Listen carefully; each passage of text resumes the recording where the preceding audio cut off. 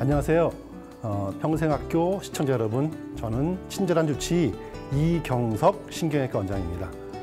저는 척추 질환을 전공했고요. 이제 앞으로 여러분께 총 8강에 걸쳐가지고 척추에 대해서 자세하게 여러분께 유익한 정보를 전달해 드리도록 하겠습니다.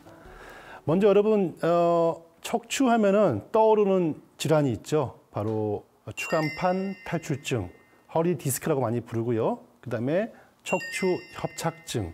이 두 가지를 제일 먼저 떠올리는데 제가 먼저 이 개념에 대해서 먼저 좀 잡아야 될 것 같아요.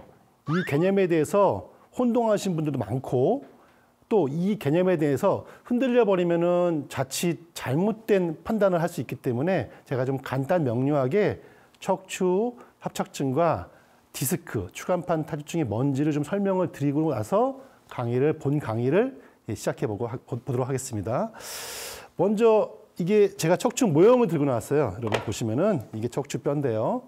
어, 이 모형은 여러분 척추를 앞에서 전면에서 보는 모양이고요. 요거는 측면이 되겠습니다. 그리고 여러분의 등에 해당되는 척추의 후면의 모습입니다. 보시면은 전면의 모형을 다시 한번 보겠습니다. 척추 뼈와 뼈 그 사이에 이렇게 말캉말캉하게 보이는 젤리 모양의 연골이 있습니다. 이게 바로 여러분이 많이 들어보신 허리 디스크죠. 다른 말로 추간판이라고 부릅니다. 만약에 추간판이 자기 위치에 예쁘게 잘 위치만 하고 있다면 여러분들은 척추 질환 때문에 고생받을 일이 없죠. 그런데 여러 가지, 여러 가지 이유에 의해서 이 추간판이 자기 위치에 있지 않고 밖으로 밀려 나온 경우가 있습니다. 보시면은 이렇게 이렇게 위치에 이게 이 디스크가 밖으로 튀어나와서 주위에 지나가는 이 노란색 신경이 보이시죠? 이 신경을 건드렸을 때 여러 가지 증상이 생기는데 이게 바로 추간판 탈출증이라고 부릅니다. 그냥 허리 디스크 이렇게 부르기도 하는데요. 정확한 명칭은 추간판 탈출증이라고 부릅니다. 자, 그러면 왜 튀어나왔을까요? 우리 몸은 어, 여러분이 생각하는 것보다 굉장히 견고하게 예, 만들었기 때문에 어지간해서는 이유 없이 추간판이 튀어나올 수가 없습니다. 그런데 왜 나왔냐? 그거는 척추 뼈와 뼈를 보호해주는 보호자, 예, 보디가드가 몇 개 있는데 그 보호자가 망가진 겁니다. 대표적인 것은 두 가지인데요. 첫 번째는 척추 뼈와 뼈 앞, 옆, 뒤에서 강하게 잡아주는 근육입니다. 근육이 이 뼈를 잡아주고 있기 때문에 이 척추뼈는 무너지지 않는 것이고요. 그리고 두 번째 제가 강조하고 싶은 바로 척추 뒤에 있는 바로 척추 후 관절입니다. 척추 후 관절은 다른 말로 파셋이라고 부르죠. 파셋, F-A-C-E-T, 파셋 조인트, 우리나라 말로 척추 후 관절이라고 부릅니다. 이 척추 후 관절은요, 뼈와 뼈가 이렇게 만났을 때 양쪽에 한 개씩 생기게 돼 있고요. 움직이지 않습니다. 척추 뒤에 있는 바로 후 관절, 파셋 조인트, 파셋 관절 때문에 여러분 척추 디스크가 튀어나오지 않고 우리가 허리를 숙이고 비틀고 여러 가지 점프를 해도 이 척추 디스크가 자기 자리에 예쁘게 있는 것입니다. 그런데 반대로 이 근육과 척추 후 관절이 손상된다면 어떻게 되겠죠? 제가 모형을 한번 해볼게요. 바로 그때부터는 이 뼈와 뼈가 움직입니다. 네? 여러분들은 초기에 그 움직임을 절대 감지할 수가 없을 거예요. 네. 서서히 움직이죠. 근데 이미 이 움직이는 단계부터 척추 근육 또는 후 관절이 서서히 약화가 되고 있다는 거죠. 그러면 그때 가서 움직인 다음에 나중에 시간이 지나면 더 움직이겠죠? 여러분이 잘못된 생활 습관과 잘못된 자세를 고치지 않다면 계속 움직이게 되고 종국에는 그때 가서 이 디스크가 밖으로 밀려 나오게 되는 겁니다. 이게 바로 추간판 탈출증이고요. 그냥 약 먹으면 좋아지네? 약 먹고 참게 되죠. 그럴 경우에는 계속 움직입니다. 계속 움직이게 되면은 나중에는 이 디스크가 튀어나온 것으로 끝나지 않고 마모가 돼버립니다.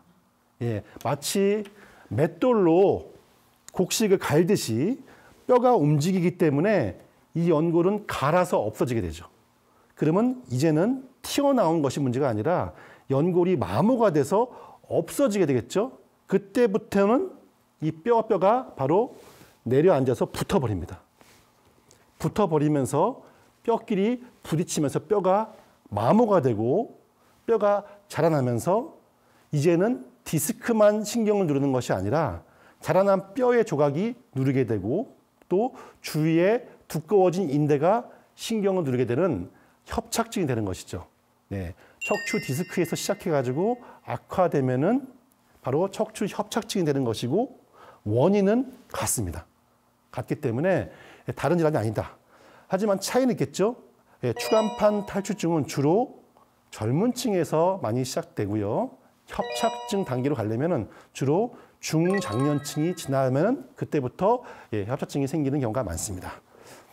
그러면은 척추 후관절이 망가지는 잘못된 자세와 습관 제가 몇 가지만 말씀을 드리도록 하겠습니다. 자, 대표적인 겁니다. 첫 번째, 척추 후관절은요. 제가 척추뼈 뒤에 있는 관절입니다라고 설명드렸죠. 척추 후관절이 가장 싫어하는 자세를 제가 보여드릴게요. 바로 벌어지는 거죠. 그죠? 벌어지는 것 자체가 이 척추 후관절은 굉장한 스트레스입니다. 물론 강한 인대와 근육으로 묶여 있지만 과도하게 벌어지게 되면은 그 인대와 근육도 자신의 한계를 넘어갈 때가 있겠죠. 그러면 그때 근육과 인대가 찢어집니다. 그때부터 여러분의 협착증과 디스크는 시작이죠.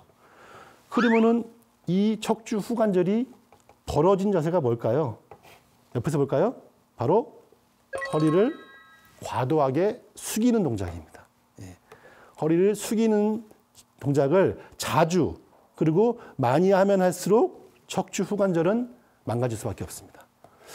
그러면은 우리가 척추를 숙이는 동작이 우리 일상생활에서 뭐가 있을까? 물건을 들 때? 근데 물론 맞아요. 그런데 생각보다 그런 동작이 하루에 얼마나 있을까요? 여러분 지나가다가 물건을 주는 동작 많아야 한 두세 번 있지 않을까요? 바로 의외의 범인이 있습니다. 바로 의자에 앉아 있는 거죠. 여러분 지금 TV를 시청하는 시청자 여러분 지금 쇼파에 앉아 계시는 분들 많죠? 여러분 쇼파에 앉아 있을 때 무의식적으로 허리는 구부러지게 돼 있습니다. 네. 한번 허리를 만져보세요. 여러분 지금 TV 보시면서 손 뒤로 등을 넣어보시면은 등이 이렇게 오목하게 들어간, 것이 아니라 뒤로 튀어나와서 등뼈가 만져질 겁니다. 많은 직장인들이 에, 적게는 6시간, 길게는 9시간 이상 의자에 앉아서 일을 하죠. 그래서 그 6시간에서 9시간 또는 10시간 이상 앉아있는 자세는 허리를 계속 구부려 틀게 만들기 때문에 척추 후관절에 굉장한 스트레스 줍니다. 그때 바로 후관절이 망가지게 되는 것이죠. 두 번째는 허리를 숙이는 거 말고 바로 허리를 비트는 겁니다. 예. 허리를 비틀 때 왜 관절이 무리가 될까? 보시면은 척추 후관절을 보시면 모양이 이 뼈를 볼게요. 두 개의 뼈가 이렇게 만나면서 양쪽의 뼈가 돌아가지 않도록 막아주고 있어요. 예. 보시면은 이 뼈와 밑에 있는 후관절이 바깥에서 잡아주면서 위에 있는 뼈가 돌아가지 않도록 잡아주게 딱 걸려 있습니다. 그런데 여러분이 과하게, 과하게 허리를 옆으로 비틀 때, 그때 역시 후관절은 굉장히 힘들어하게 됩니다. 그러면은 주, 우리 일상생활에서 또 비트 동작이 뭐가 있을까요? 주로 이런 동작은 운동할 때 생깁니다. 네. 뭐죠? 대표적인 것이 골프. 네. 골프는 트위스팅하게 돼 있죠. 테니스, 배드민턴 같은 허리를 좌우로 비트는 동작이 많은 스포츠를 할 때 생길 수가 있습니다.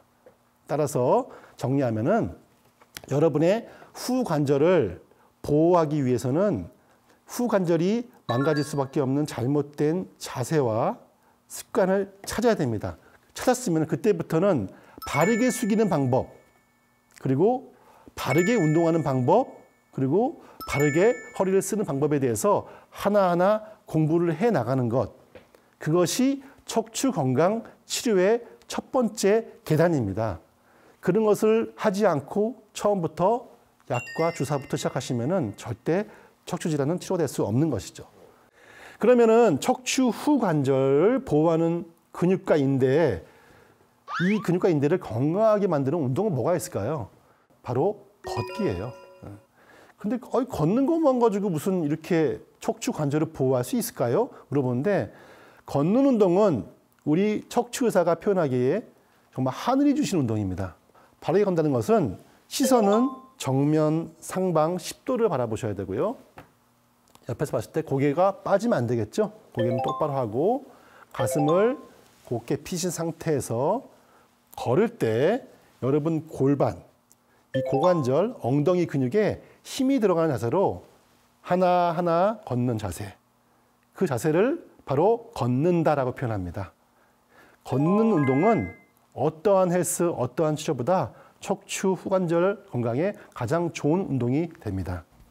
네, 다음 시간 이강에서는요 운동할 시간이 없는 바쁜 직장인 여러분 그리고 어르신들을 대상으로 집에서 할 수 있는 재밌고 간단한 척추 건강을 위한 운동 제가 재밌게 강의를 하도록 하겠습니다.